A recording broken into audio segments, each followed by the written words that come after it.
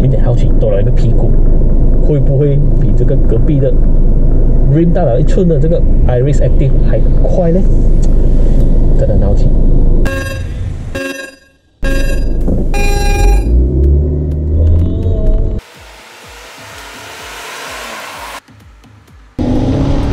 好像有机会哇！这么 Iris 手这样快的，好像有机会！啊，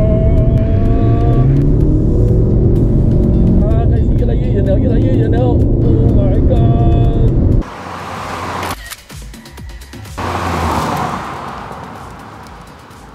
从刚才这个零到一百的加速影片，大家可以看得出，这个 Iris 其实是快一点的，所以它比较运动化一点。而事实上，原厂给它的定位确实也是瞄准年轻人运动化的这个市场。而在这个 MC3 的车型上面，他们还增加了这个 Active 的版本，看起来有种 crossover 的感觉，更适合户外运动，对不对？而今天的影片，我们主要讲的是这个旧的 Iris 跟这个新的 Iris，它们有什么差别？如果你对这个新的 Iris 有兴趣的话，那么这一期的影片你千万不要错过啦！在这个车头的水箱护罩设计方面，Iris 更新了三次，也换了三次不同的设计。首先，二零一四年跟二零一七年的 MC One 车型采用了 Proton 的前代家族设计 Proton Win，而在二零一九年的时候，它因为是这个小改款比较大的小改款车型，所以他们在上面更换了全新的水箱护罩设计，并且融入了新的家族元素，他们叫做无限编织 Infinity Wave。可是它和 Persona 的设计不一样，它在水箱护罩的设计上面融入了一个镀铬的材质，官方将它称为弓的元素。而在这个二零二二年的小改款上面，我们终于看到它和 Persona 采用了一样的设计风格。我个人觉得这一个无线编织的水箱护罩其实更好看，也更适合 Iris。恭喜 Proton 终于有一个比较好看的家族设计了。在这个第三次的这个升级版上面，我们终于看到 Iris 有了 LED 头灯组。虽然它比它的对手落后了几年，但是这是 Proton 第一次在中低端的车型上面放入这个 LED 的头灯组，我觉得是一个进步。但是这一个只有顶级版本才会有。如果你是买到 Executive 或者是 Standard 版本的话，它同样的还是 Halogen 的灯泡。和这个2014年第一帮的车型，还有2017年的 MC One 相比，它少了这个 Projector 的配置。我个人是觉得有 Projector 其实会美观一点。但是这个新的头灯组有了 LED，我觉得是多少弥补了一点这个不足。大家觉得有 Projector 的 Halogen 好看，还是这个 LED 但是没有 Halogen 的设计好看呢？欢迎在影片的下方留言。在轮圈的设计方面，不管是2014年的 Iris，或者是2017年的 Iris MC1，或者是2019年的 Iris MC2，它们采用的轮胎尺寸都只有两种，一个是14寸，一个是15寸。而这个15寸的轮圈感觉还是太小，所以视觉效果上面并不是那么好。在这个2022年的 MC3 上面，他们终于更换了这个16寸的轮圈，看起来更为饱满，对不对？这个也是2022年的 Iris 跟旧的 Iris 最大的差别。在外观上面，两款车的最后一个差别就是这个是普通的 Hatchback 版本，这个是 Crossover 版本。大家可以从镜头看到，其实这个新的 i r i 车身高度会稍微高了一些，因为它是 Crossover 的版本，所以厂方不只是给你这个很大的防刮材质而已，车身高度真的是有高了一些。可是实际上，这个车身高度对于操控的影响并不是很大，这个之后我们会讲到。在镜头前面的各位，喜欢这个普通的掀背版本，还是这个 crossover 的版本呢？欢迎你们在影片的下方留言哦。新的 Iris 跟旧的 Iris 在外观上面的改进可能没有那么大，但是如果你来到了内装之后，你会觉得哇哦！首先就是这个 steering，这个 steering 的质感好了很多。虽然一样有皮革，一样有这个透气皮，可是它这边更新了一点点设计，然后加上了红色的车风线，还有这个红色的饰条，加上这个 piano brake。让这个 steering 看起来很有质感，尤其是跟以前的相比。老实说，以前的还是有一点点，嗯。接下来有一个很吸引年轻人的重点，就是这一个红色的这个安全带，乍看之下很有 AMG 的感觉，但是一顿操作猛如虎，一看引擎。因为我本身自己也是开 Iris，而且开了六年，所以我发现 Iris 在内装上面的布局很多地方都不理想。这个二零二零年的版本相比旧的，我很庆幸，我很开心看到很多的改变。首先是这个符合潮流趋势的这个独立式的触屏主机，原本 Iris 的主机是放置在这个位置，但是它现在让它凸起来，使用上面会比较顺手一点点。而且这个内建的系统比起任何一次更新改良版的 Iris 更加顺畅。重点是这一次这个 High Proton 系统啊，不是花瓶而已，它可以让你控制这个电动窗，可以让你控制冷气，差不多已经接近了这个 S 五十跟 S 七十的水准。接下来就是这个冷气的控制面板这边，旧款的 Iris 采用的是三个圆形的 Analog 设计，看起来其实不差，但是就少了一点点科技感。或许是为了配合这个 High Proton 系统，他们终于更换成了这个电子控制式的，这个旋钮转动起来质感不错，显示效果也还好，但是就是这个按键有一点松动。不过我个人觉得跟旧款的相比，这个是一个很大的进步。再往下的话。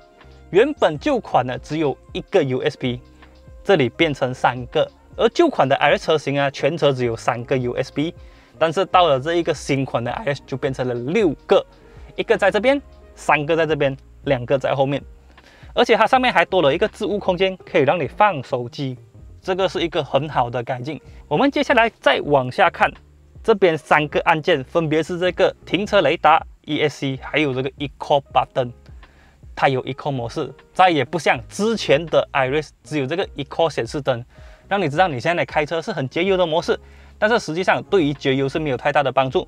可是这一次它真的有了这个 Eco 模式，在整个排挡杆、置物空间跟这个手刹车的这个布局上面啊，这一次也做了很大的改进。如果大家是开旧款的 Iris 或者是 Persona，应该会发现这个排挡杆的基座变高了。所以你在开车的时候，你要换挡，整个动作是更为流畅的，这一个要加分。旧的车型太低了，所以有时候你换挡的时候，你会觉得很不顺手。再来就是这个置物空间的大大加强。旧款的车型只有两个浅浅的置杯架，但是这边真的是变大变深了，所以你要放手机啊、放钥匙啊，都非常的方便。重点是官方终于给你的这个中央扶手。所以你在开长途的时候可以开得很写意，而且中央扶手还有一个置物空间，可以让你放些零钱啊等等的东西。我真的觉得这个内装相比起旧款改进很多，也加分很多。大家怎么看呢？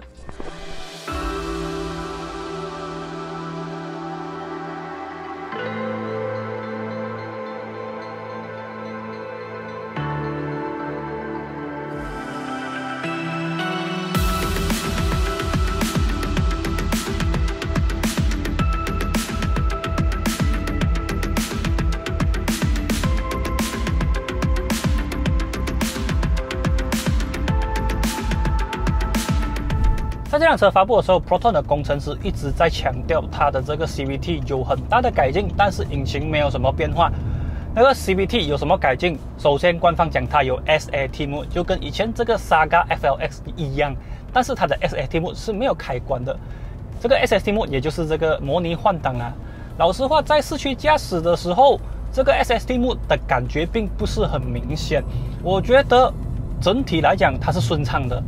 比起二零一九年的还要顺畅很多，这个是这一次二零二二年 Iris 最大的改进之处，它的顿挫感少了很多。因为以前不管是二零一四、二零一七还是二零一九的 Proton Iris，如果你在市区驾驶的话，它的那一个 CVT 顿走走停停，顿挫感很明显，会让人很不舒服。可是这一次我加了两三天，我觉得它的这个走走停停的时候，已经很少有当时那种的顿挫感。还是有，但是很少了，所以在市区驾驶的时候会舒服很多。我觉得 CVT 的改进真的是一个很好的进步。我之前在二零一九年的这个 Proton Iris 的试驾时候，我讲过，如果说这个日本厂商的 CVT，像是 Vios 跟 City，他们的分数如果是八十分或者八十五分的话，那么 Iris 就是七十分。可是到了这个二零二二年，我觉得它可以拿到七十五分，跟日本的相比还是有差距，但是已经进步了很多。终于比较让人可以接受了。至于这个悬吊，因为这台车本身定位是像我这种年轻人或者是单身狗，所以它的悬吊设定的比较弹跳一点。如果你是在大慢路或者是路况不好的地方走走停停的话，你会觉得这个悬吊是比较弹跳的。尤其是现在我在做 City Drive 的时候，真的会感觉这个弹跳是比较明显的，会稍微一点点影响到舒适，但是并不是很严重，还是在可以接受的范围。而且这边我要讲哦，这一个 Iris Active 它的这个车身高度会比起普通版本的 Iris 高一点，可是实际上开起来它的操控表现并没有因为这个车身高度变高而有影响。我觉得整体开起来的感受跟我的这个2015年的 Iris 是差不多的，所以这一点它还是保留了这个 Proton Right and Handling 的特性。只是比较可惜的是，如果是在路口的时候，这个 CVT 的 delay 还是比较明显一点。就是说，你可能踩下油门过后，它要半秒过后那个动力才会来，所以你在开这辆车的时候，你在出入口的时候，你自己就要啊嘎一下，这个油门你几时要踩，你要拿捏好那个时机，不然的话你会 feel 到这个 delay 很严重，然后出入口的时候你可能会担心一下下。再来还有一点要提及，也是关于这个变速箱啦，就是原本的 L 变成了 S，一开始我们以为是 Sport Mode，但是其实不是，它跟这个之前的 L 的功用是一样的。当然，你换去这个 L 档过后，动力会有一点增强，然后它主要还是在你如果从云顶下来的时候，你拉去这个 S 档，它会有这一个 engine braking 的功能。我觉得这一个功能，如果是你时常上下云顶的话，还是蛮实用的。我之前上云顶的时候，我也是有用这个这个功能，我觉得还不错。结束了市区驾驶的环节，我们来试一试这个高速公路。其实昨天从 Proton 的总部把这台车拿回来的时候，我就感受到了一些它的特性。在发布会的时候，Proton 一直有宣称这个车的隔音有在加强，这个是感受得到，可是没有很明显。不过很可惜的是，这个 CVT 在你拉高转速的时候还是会很吵。不过整体来讲，它的隔音表现跟二零一九年的版本相比，还是有一点进步的。刚才我有讲到这个 SAT mode 在市区驾驶的时候感受不是很明显，可是，在高速公路驾驶的时候，你就会很明显可以感受到那个进档退档的感觉。尤其是在你超车的时候，你拉高转速，它会真的模拟像是这个自排变速箱一样，到了一定的转速，它会进档。然后转速降低，那感觉还蛮真实。这个我有点 surprise，因为我有开过以前 FLX SAT，那个 SAT 真的有一点点噩梦。但是这个 SAT 我觉得还不错。可是这一个车辆的引擎动力，如果对比2019年，我觉得是有一点点退步，它变得比较软，尾力没有那么足够。如果是2019年的版本的话，你深踩油门的时候，你会觉得这个1.6的引擎动力还是很澎湃的。可是，在这一个2022年的版本，它就会感觉到这个动力储备不是很足够，会有一点点软。会有这样的改变，可能是因为 SAT 的加入，又或者是原厂估计到油耗。好了，现在前面有一段空路，我们来试试这个 CVT 的声音有多吵。OK，three two one。听到吗？这个 CVT 的声音就是那么吵。不过这台车还是保留了很浓厚 Proton Ride and Handling 的这个感觉，它的稳定性还是非常的好。就好像我在高速公路行驶大概是九十一百的时候，你会觉得这个稳定度很接近欧系车的感觉。跟这个同价位的同级对手相比的话，它的稳定性也好的很多。这个也是为什么我会推荐，就是时常开长途的朋友选择这辆车。然后除此之外，它的这个 steering 的转向还是非常非常的精准。这个真的是我们熟悉然后又喜欢的 Proton，操控真的是它的强项。虽然说这台车是 FD 版本，然后车身高度有稍微增高了一些，可是开起来真的是跟我的2013年的 Hatchback 版本相比没有太大的差别。你还是可以很 enjoy 的去享受它的这个 ride and handling，然后享受这种。驾驭的感受，这个是 Proton 自己本身的血统，是没有人可以代替的。这个给 Proton 的工程师一个赞。最后一点我要讲的，其实跟这个驾驶感受没有太大的差别，就是这一个触屏主机。这个触屏主机看起来这个界面设计比起之前的版本好很多，体验也很顺畅，但是亮度不足够，反光很明显。在大白天的时候，你开车这个。荧幕基本上是看不太清楚的，很多反光啊，不然就是亮度不足够，你看不到。这一个是需要改良的地方，真的很需要。不然的话，在大白天，就算你用 reverse cam 都好，你都是看不清楚。所以 Proton 这个是我的建议啊，你们可能要多注意一下这个亮度的问题。好啦，这个就是我对这个2022 Proton Iris Active 的简短试驾心得。作为一个老 Iris 车主，我对这次升级有什么感觉呢？我觉得这个2022年的版本更像是2019年的一个 Refine 版本，而且它新增加了一些配备，例如说这个 LED 的头灯组，例如说全新的触屏主机。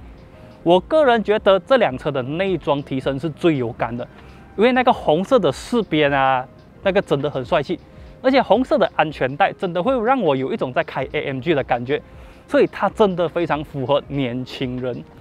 可是实际上，它和二零一九年的这个动态表现没有相差太远，只是在这个变速箱上面更加柔顺一些，顿挫感减少了一点，这个我觉得是最大的不同之处了。